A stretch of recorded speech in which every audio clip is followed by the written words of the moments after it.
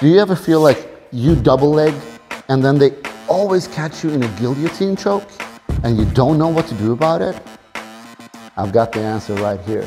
Watch this clip of what I did in one of my fights and then I'm gonna show you exactly how to do it. Now I'm gonna show you how to do exactly just that.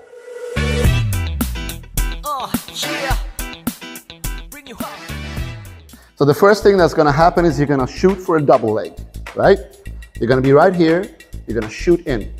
Let's say I shot in, but instead of having my neck up here, like I'm supposed to, I make a mistake and I have my head going forward, as a lot of beginners do. A lot of pros do that as well. It's fine. We all make that mistake. But let's say I do. I shoot in and my head is forward. Now she goes in and grabs a guillotine choke, right?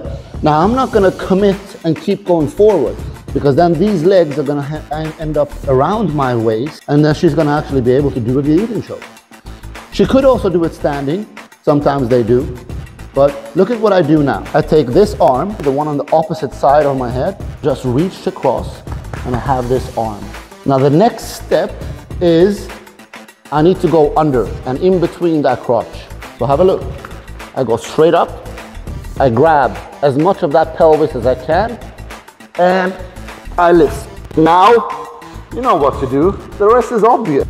Now there's also a variation where you can do a choke here. So have a look what I do with this side. I keep lifting this pelvis and don't allow it to come down. I put my shoulder, I put my shoulder on that chin, and then I crank up that hip. There we go. That's the cup. You could. Take that with you guys. If ever anyone tries to submit you standing in a guillotine choke, you know exactly what to do. Just let them do it. anyway, you got this. Train hard, fight easy. Now I'm gonna make sure she doesn't beat me up after this. oh, yeah.